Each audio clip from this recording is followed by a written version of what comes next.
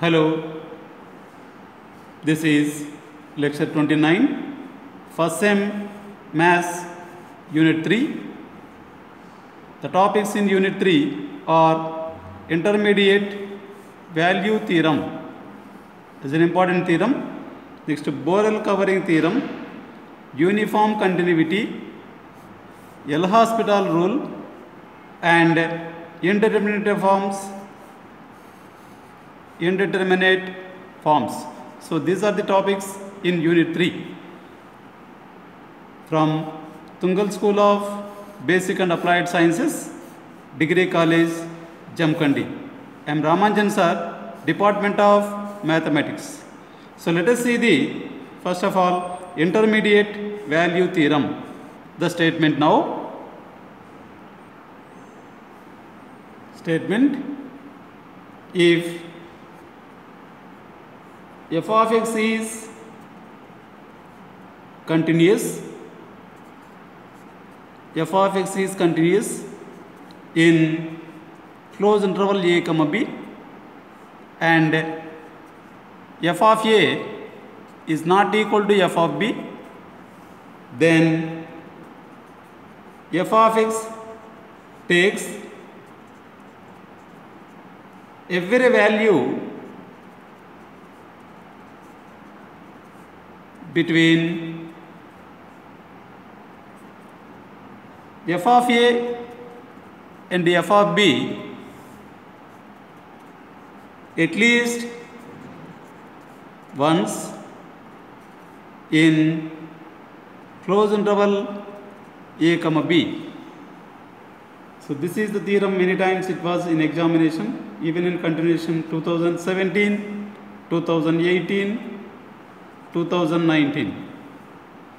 See that if f of x is continuous in closed interval a comma b. So we know the interval a comma b and there the f of x function uh, is continuous. And even that function, the terms or functional values of a comma b, f of a and f of b are not equal. Then f of x takes every value between f of a and f of b at least once in closed interval a comma b. So let us see the proof now. For this, how that f of x takes every value between f of a and f of b. Suppose k be the value or real number between f of a and f of b, then for some value of c, the functional value f of c is equal to k. Right, proof.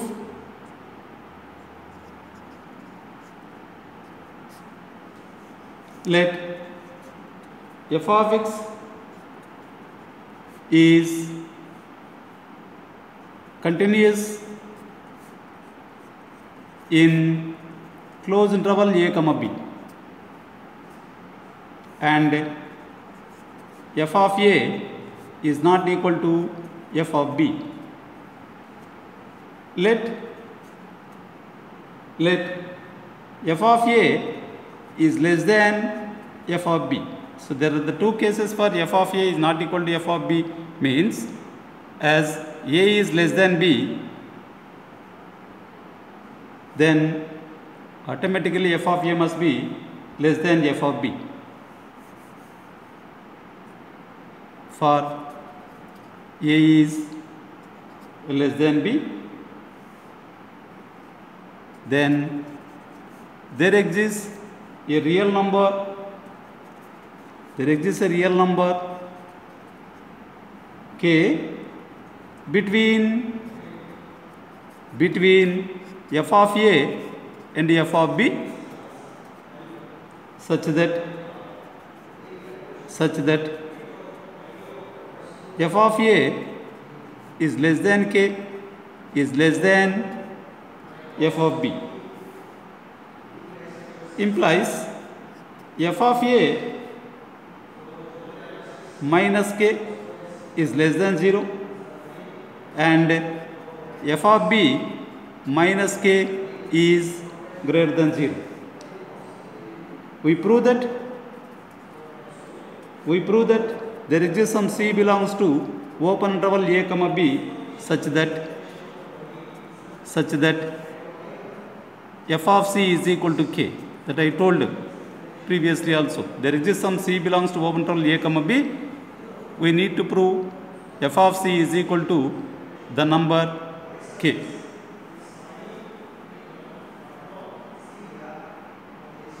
So define capital F of x is equal to small f of x minus k, comma for all x belongs to closed interval a comma b. Take this as equation 1 and capital F of a is equal to small f of a minus k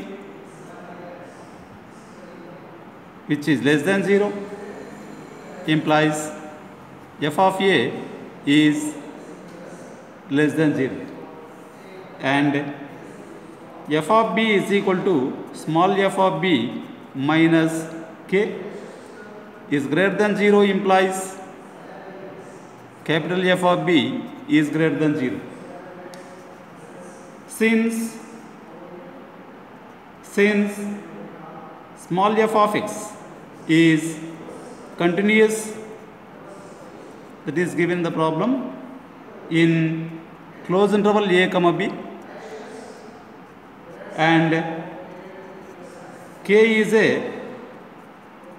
constant constant constant. It is continuous. It is continuous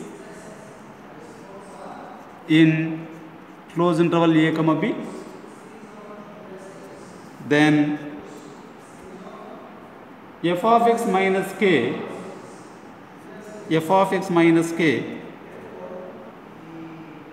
is continuous is continuous in closed interval a comma b. So from equation 1 capital F of x is equal to small f of x minus k. So that uh, a small f of x minus k is continuous then automatically capital F of x is continuous. From 1 capital F of x is continuous in closed interval a comma b.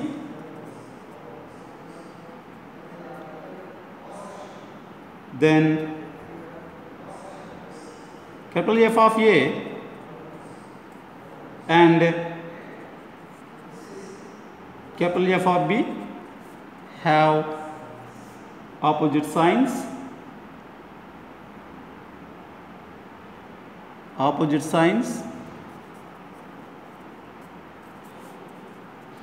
opposite signs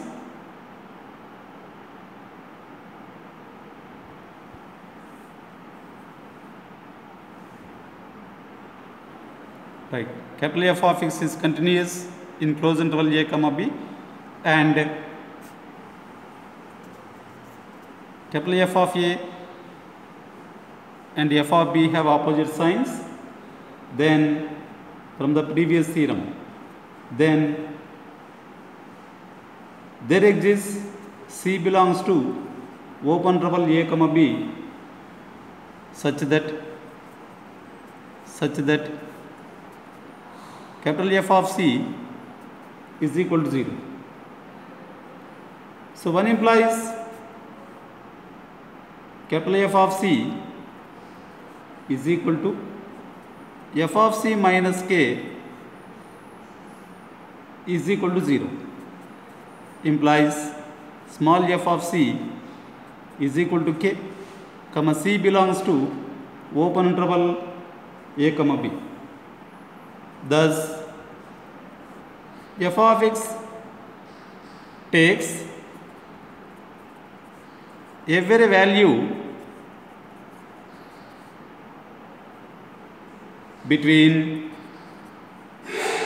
between f of a and f of b at least once in closed interval a comma b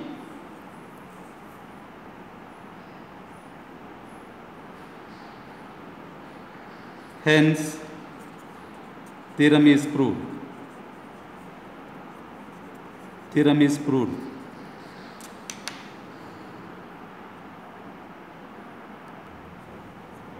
Right. Next. Borel covering theorem. Right. Borel covering theorem. So this is the statement only this is the statement only we need statement only because this statement we require to define the uniform or uniformly continuous. So see that now the theorem statement statement if a function if a function f of x is continuous f of x is continuous in closed interval a comma b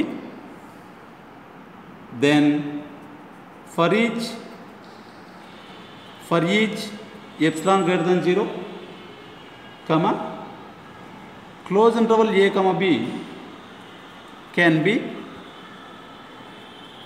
divided into a. Finite number of finite number of subintervals. Finite number of subintervals such that such that mod f of x1 minus f of x2 is less than epsilon for x1 comma x2 belongs to belongs to the same belongs to the same subinterval. Belongs to the same subinterval right. See that. If the function is continuous in closed interval a comma b then for each epsilon greater than 0 closed interval a comma b can be divided into a finite number of subintervals. Finite number of subintervals. Previously also we discussed the same such that mod f of x minus f of 2 f of x2 is less than epsilon for x1 comma x2 belongs to the same subinterval. So in one subinterval x1 comma x2 elements are there their difference of functional values must be less than epsilon. See that the theorem statement it is next. Uniformly the definition uniformly continuous or uniform continuous. Uniformly continuous is an important definition because many times it was there in examination 2015 16 2017 like that. For the two marks two marks question define uniformly continuous. See that? It is almost uh, the same as the theorem statement that is Borel covering, covering lemma or theorem. Now, uniformly continuous, a function f of x is said to be uniformly uniformly continuous if for each epsilon greater than 0 comma there exists delta greater than 0 such that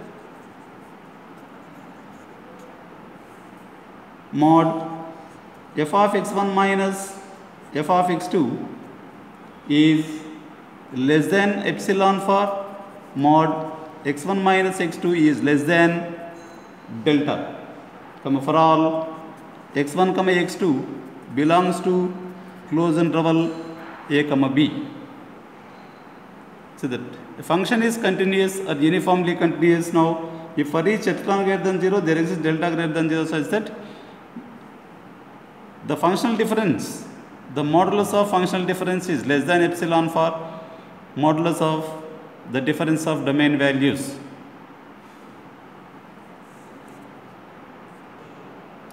So it's almost the, the definition of continuous.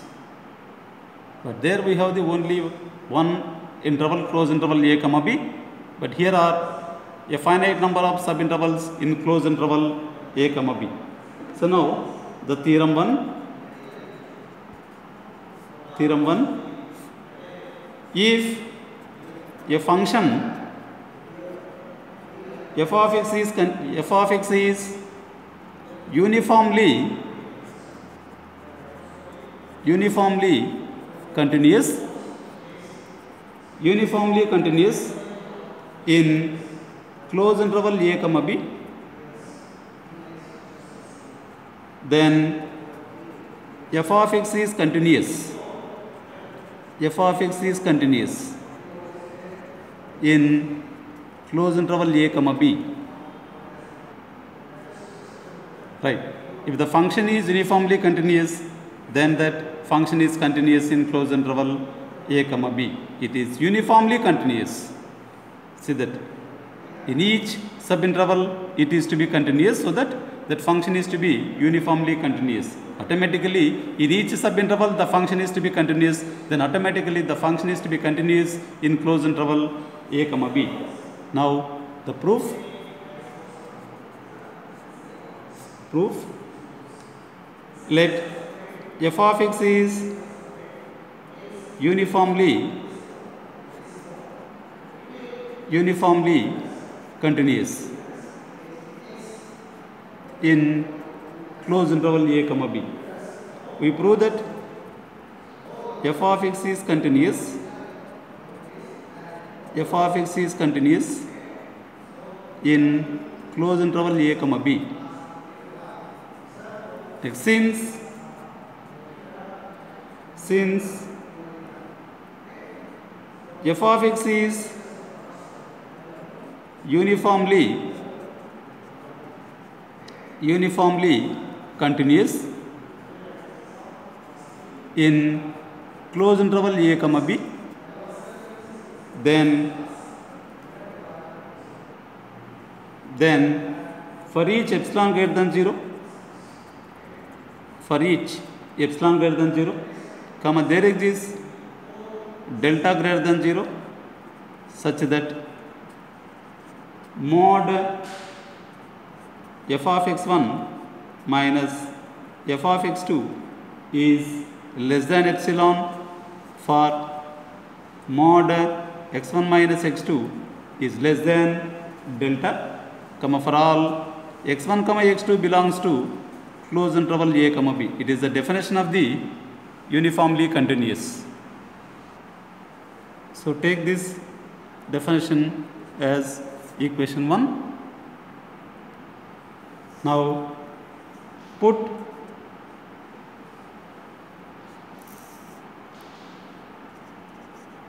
x is equal to x1 or x1 is equal to x and x2 is equal to c in 1 then for each epsilon greater than 0 comma there exists delta greater than 0 such that mod f of x1 means f of x minus f of x means f of c is less than epsilon for mod x minus c is less than delta comma x comma c belongs to open interval a comma b. This implies f of x is because this is the definition of continuous. F of x is continuous in or at x is equal to c belongs to open interval a comma b. This implies f of x is continuous. f of x is continuous in closed interval a comma b. f of x is continuous in closed interval a comma b. Even this theorem is asking in 2014 and 16. This is the theorem 2014 and 2016 they are asking. Thank you. Thank you very much. The next theorem we will prove in the next class.